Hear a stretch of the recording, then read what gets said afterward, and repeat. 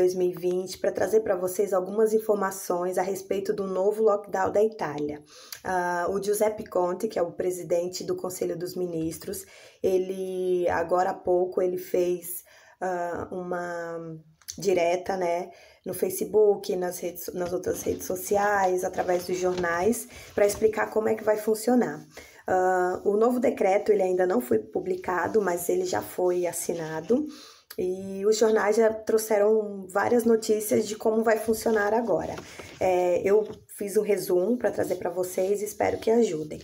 Basicamente, a Itália ela vai ser dividida em três faixas de cores: a zona rossa, que é a zona vermelha, a zona arancione, que é a zona laranja, e a zona gialla, que seria a zona amarela. Uh, as zonas, os locais onde o número de contágios são maiores, vão ser então classificadas como zona rossa, zona vermelha. Entre elas estão a Lombardia, onde está Milano, uh, Piemonte, onde tem Torino, uh, Vale da Ostia e também a Calábria. São as zonas onde o número de contágios e de mortes são maiores, por isso que elas são classificadas com essa cor. Basicamente, vão ser proibidos qualquer tipo de locomoção, é, mesmo dentro da cidade, ou entre uma cidade ou outra, ou entre uma região ou outra.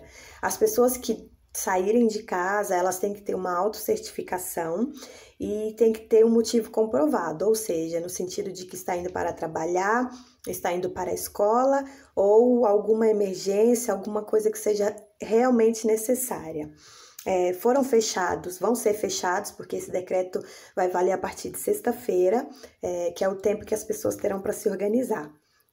Foi decidido que serão fechados restaurantes, bares, pubs, sorveterias, padarias e centros de estética.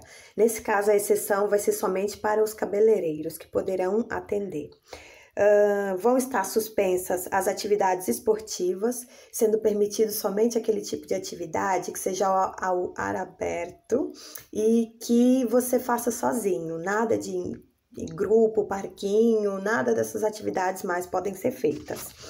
Uh, as escolas, algumas vão ser fechadas, é, o pessoal da universidade e o pessoal que faz a superiore, que seriam como se fosse os últimos anos da escola antes de ir para a faculdade, que eu já expliquei isso em outro vídeo, vão continuar com as atividades em distância, só que agora 100% e as, uh, os alunos que fazem a segunda média e a terça média, que equivalem à sétima e oitava série no Brasil, esses também vão ter que fazer uh, as atividades escolares à distância. As outras crianças que fazem elementar e a prima média vão frequentar a sala de aula.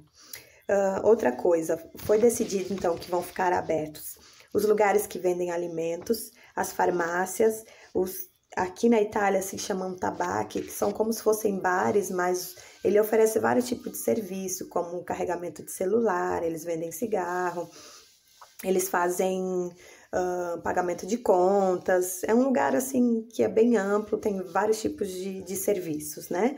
Uh, edícula, que seriam como se fossem livrarias, é, os postos de gasolina também vão permanecer abertos, as indústrias, as atividades relacionadas ao artesanato e à construção civil, tá? basicamente, da zona roxa, a, continua a obrigatoriedade do uso de máscaras.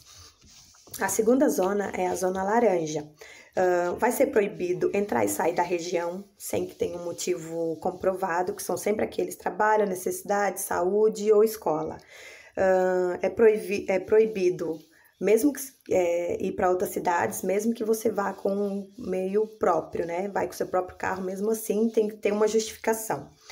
Uh, atividades esportivas ao aberto serão permitidas. Bares, restaurantes, pubs serão fechados, sendo permitidos somente uh, entregas a domicílio e somente até às 22 horas podem ser feitas essas entregas e é proibido consumir no local. Eu acho que eu não, não citei antes, mas na zona vermelha, os bares, restaurantes, pubs, sorveterias, eles vão estar fechados o dia todo, mas eles vão poder fazer entregas a domicílio, tá? Seguindo todas as normas de segurança.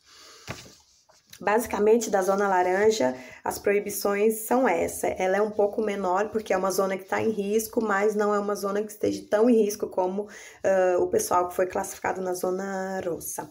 Eu tenho um mapa, vou colocar aqui para vocês terem ideia de mais ou menos como é que estão as cores na Itália agora, né?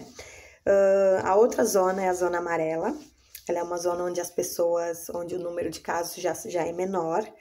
Uh, o que que acontece? Continua a obrigatoriedade de máscaras, é, a proibição de sair entre as 10 da noite e as 5 horas da manhã, exceção, né, sempre para trabalho, saúde ou alguma necessidade.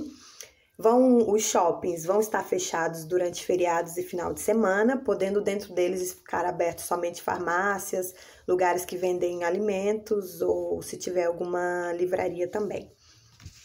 É, os meios de transportes vão sofrer uma redução de 50% do número. Uh, é, as salas de, de bingo, o museu também vão, vão ser fechadas. É, vai ser permitida a locomoção dentro e fora da sua cidade e também para outra região, mas somente se essa região for também zona amarela. É, continuam permitidas atividades físicas e ao aberto. Os restaurantes vão ter que fechar às 18 horas, sendo que a partir desse momento só vai ser permitido fazer entregas, e isso também somente até às 10 da noite. As piscinas e as academias continuam fechadas. Uh, as escolas superiores vão continuar sendo à distância e as escolas médias e elementares vão ser uh, sem ser um método de distância, né? Os alunos vão poder ir para a escola. A princípio é isso, assim que o decreto for publicado, então é, é, essas medidas já vão começar a valer, provavelmente elas vão até o início de dezembro, né? Dizem-se dia 5, dia 6 de dezembro, isso se não tiver um novo decreto, né? Então, provavelmente para os próximos 15 dias vai ser assim. Espero que esse vídeo tenha ajudado vocês. Um grande beijo, tchau!